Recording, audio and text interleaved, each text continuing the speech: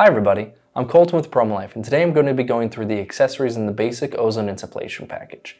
If you still need to hook up your oxygen source, humidifier combo, and ozone generator, please check out our setup video.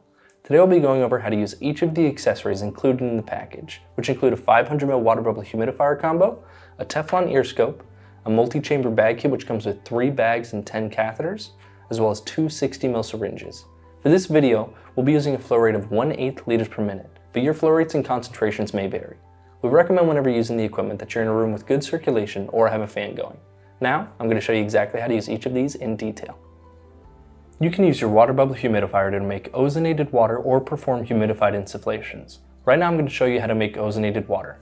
You'll first want to turn on your oxygen tank and set your flow rate. Once you see the bubbling in the water, this lets you know that the oxygen is flowing. Now, turn your generator onto its max setting let this ozone bubble through the water for 10 to 15 minutes depending on how strong you want the water to be.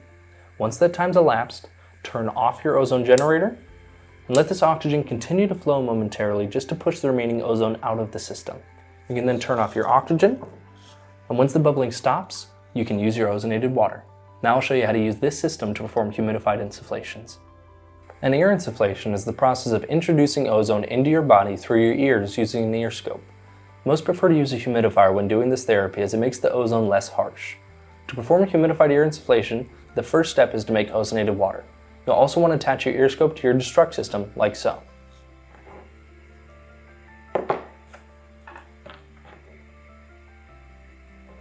After your water is fully ozonated, turn the generator setting down to your preferred concentration for ear insufflations. After waiting for a moment for the new concentration to flow through the system, you can then place the ear scope in your ears. I do want to mention that you don't want to press the earbuds deep into your ears as this will cause a buildup of pressure in your ear canals. You should have the earbuds resting right at the opening of your ears. Now, turn the port on your destruct system so that the ozone flows into the ear scope rather than through the destruct. Normally people let the ozone gas flow into the ears for 5 minutes. After this time has elapsed, you can turn the port on the destruct back to its original position and power down your system. I do like to mention that this water can still be used as it is fully ozonated. Now I'll show you how to fill up a multi-chamber bag. The multi-chamber bag is used to hold ozone gas and is mainly used for rectal and vaginal insufflations. To fill the bag, you want to have your oxygen already flowing and make sure that the clamp on the multi-chamber bag is open. Then, turn the generator on to whichever setting you need to reach your preferred concentration, and immediately attach the multi-chamber bag to the ozone out port. Depending on how much volume you are wanting, pinch the bag at one of these two points to block off the remaining sections.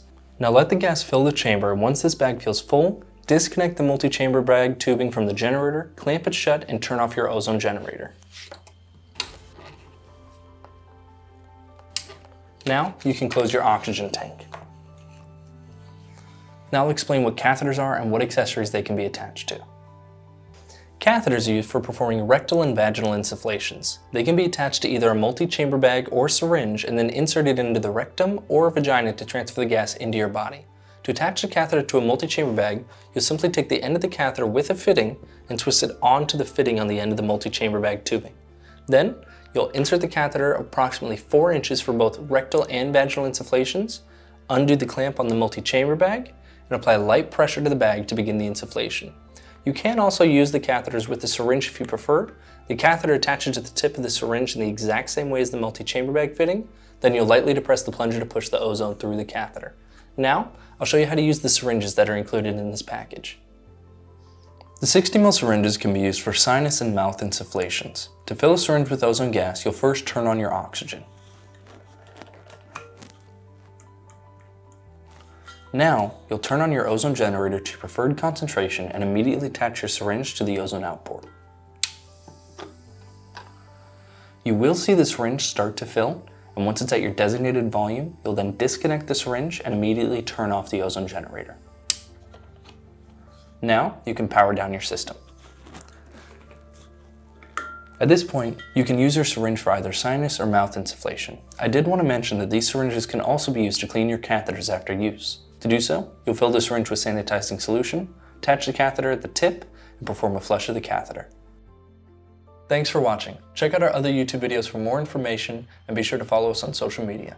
Make sure to hit that like and subscribe and hit the notification bell for future videos.